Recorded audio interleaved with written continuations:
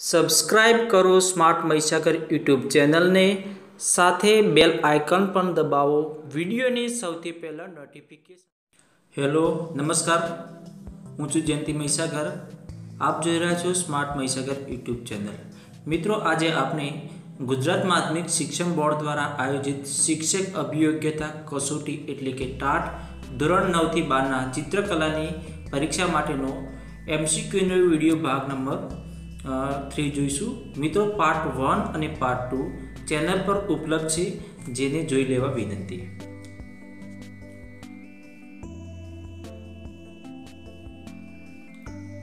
લાલ રંગનું મહત્વ જણાવો. તો લાલ રંગ ભય સૂચક હોય છે, થોભો, ક્રોધ, હિંસા વગેરેનું મહત્વ છે. પીળા રંગનું મહત્વ જણાવો. પીળો રંગ પ્રકાશ, તેજ, ધાર્મિકતા, પવિત્રતા, કીર્તિ, ઐશ્વર્ય, ચેતના તથા નબળાઈનું સૂચક છે. લીલા રંગનું મહત્વ જણાવો. તો લીલો રંગ આનંદ, તાજગી, પ્રકૃતિ, સમૃદ્ધિ, ફળદ્રુપતા, હરિયાળી, સ્વાગત અને શ્રદ્ધાનું સૂચન કરે છે.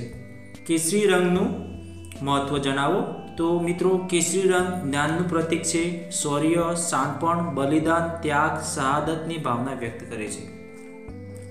જાંબલી જાંબલી રંગનું મહત્વ જણાવો. તો જાંબલી રંગ એ ગર્વનું પ્રતીક છે. શૌર્ય, વૈભવ, સુખ, શાંતિ, વિલાસ, બાદશાહી ઠાઠ, મર્દાનગી, ઉદારતાની ભાવના વ્યક્ત કરે છે. આ રંગમાં વાદળી રંગની સૌમ્યતા તથા લાલ રંગની રૌદ્રતા જોવા મળે છે. કેન્દ્રના વિસ્તરણનું એક ઉદાહરણ આપો. હીરાનું તેજ એ કેન્દ્રના વિસ્તરણનું ઉદાહરણ છે.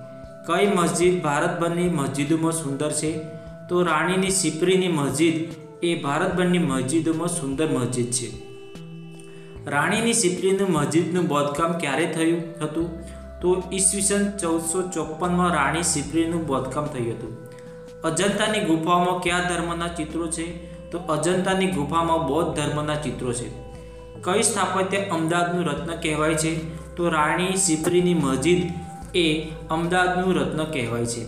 ચિત્રકાર બંસીલાલ વર્મા કયા નામે કાર્ટૂન દોરતા હતા? તો ચિત્રકાર બંસીલાલ વર્મા ચકુના નામથી કાર્ટૂન દોરતા હતા.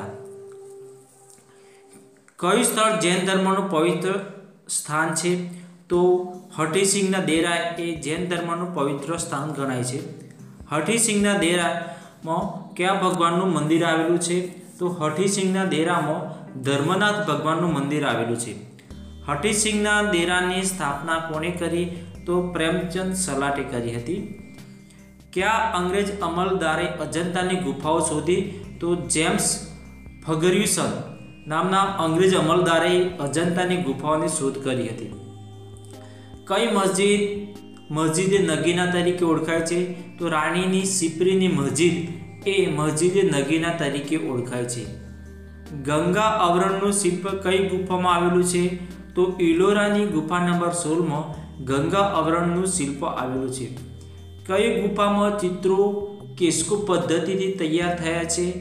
તો અજંતાની ગુફામાં ચિત્રો કેસ્કો પદ્ધતિથી તૈયાર થયા છે. મિત્રો મિત્રો, આ પ્રશ્ન એમ પણ પૂછાય કે અજંતાની ગુફાના ચિત્રો કઈ પદ્ધતિના છે? તો તેમાં કેસ્કો પદ્ધતિ આવશે.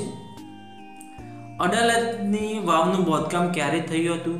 તો સન ઈસવીસન ચૌદસો નવ્વાણુંમાં અડાલતની વાવનું બાંધકામ થયું હતું. અડાલતની વાવ કોણે બંધાવી? તો રાણી રૂડાબાઈએ અડાલતની વાવ બંધાવી હતી. અડાલતની વાવમાં કેટલા પ્રવેશ દ્વાર છે? તો અડાલતની વાવમાં ત્રણ પ્રવેશ દ્વાર છે. અડાલતની વાવ રાણી રૂડાબાઈએ કોની યાદમાં બંધાવી હતી? તો અડાલતની વાવ રાણી રૂડાબાઈએ પોતાના પતિ વીરસિંહની યાદમાં બંધાવી હતી. અડાલતની વાવ કેટલા માળની છે? તો અડાલતની વાવ પોચ માળની છે. અડાલતની વાવનું બોધકામ કયા રાજાઓના શાસનકાળમાં થયું હતું? તો અડાલતની વાવનું બાંધકામ સોલંકી વંશના રાજાઓના શાસનકાળમાં થયું હતું. કયા પ્રકારનું સ્થાપત્ય વિશ્વભરમાં ગુજરાત સિવાય બીજે ક્યાંય જોવા મળતું નથી? તો વાવ પ્રકારનું સ્થાપત્ય વિશ્વભરમાં ગુજરાત સિવાયના બીજા કોઈ પણ રાજ્યમાં જોવા મળતું નથી. પ્રસિદ્ધ સરખેજનો રોજો કોની યાદમાં બંધાવવામાં આવ્યો હતો? તો શેખ અહમદ ખટ ગજબંશની યાદમાં સરખેજનો રોજો બંધાવવામાં આવ્યો હતો. ગુજરાતમાં કયો રોજો સૌથી ખ્યાતિ ધરાવતો રોજો છે? તો સરખેજનો રોજો એ સૌથી ખ્યાતિ ધરાવતો રોજો છે.